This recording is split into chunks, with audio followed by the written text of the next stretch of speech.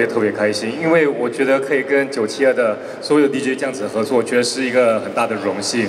然后当我看剧本的时候，我觉得重庆写的特别好，谢谢然后其实我第一次跟大家一起录的时候，我有点小紧张，因为每个人真的用声音来表演的的能力真的好厉害，因为毕竟我还是需要一点颜值，需要一点那个表演，就是给人家看到，人家才看得到我在做什么。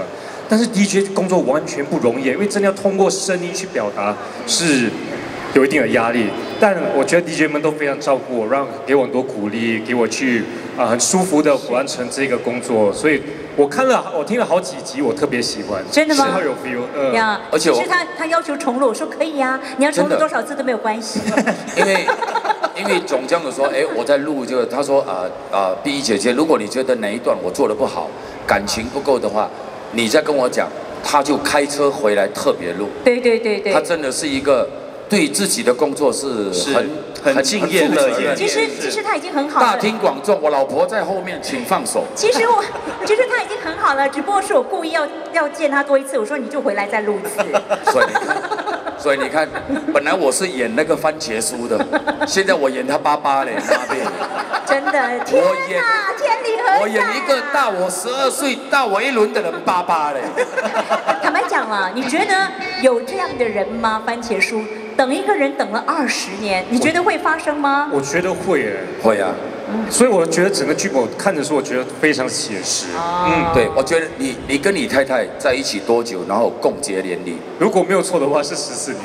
十四年十，四年很久他哎相信呢，我们在一起很久十四年呢，十四年了，煎饼大哥十四天就跑了，你还十四年？什么十四天？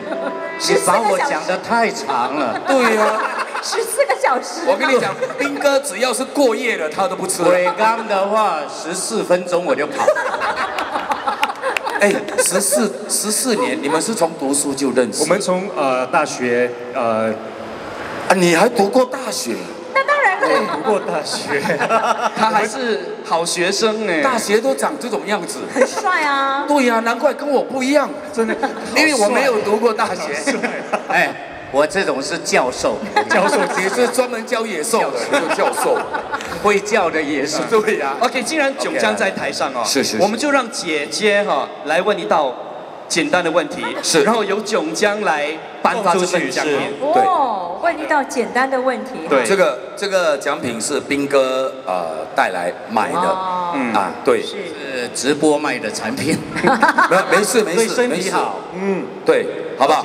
来，你问一个问题，可以跟广播剧有关系的。能不能让我 陪？哎呦，不要问那一首歌啦。哦，OK，OK，请问番茄叔回来了，是由谁写的剧本？啊哎，这个从马来西亚来的，对不对？给他一个机会。是是是，哎呀，来来来来来，这位不要说错哦。对大哥，请问你叫什么名字 Elson，？Elson 哦，Elson，哎你是哎住在 JB 什么地方 School Line，School 哎，School Line 很靠近你的那个哪里吗？哪里？哪里？啊，就就靠近宜顺旁边那个 School Line。哦，你几点过来啊？今天中午十中午十二点就一直坐在这里等我们。三点多。没有换人了哈，啊，你都让我们爽一下。哦，你下午三点就坐在这里等我们了，找妈妈啦，陪哦，这个是你的，陪家人啊。哦，哇，你的口味很重哦，好啦好啦，朋友口味蛮重的。来 OK，来，请问。番茄叔回来了。番茄叔回来的剧编剧叫什么名字？周重庆，哇，来来来，上台上台上台，上台会跟九江拍照哦。来，叔叔叔叔，哎哎，谢谢你，杨哥，谢谢你，给我啦，你是要拍鼻溜，我拍他啦。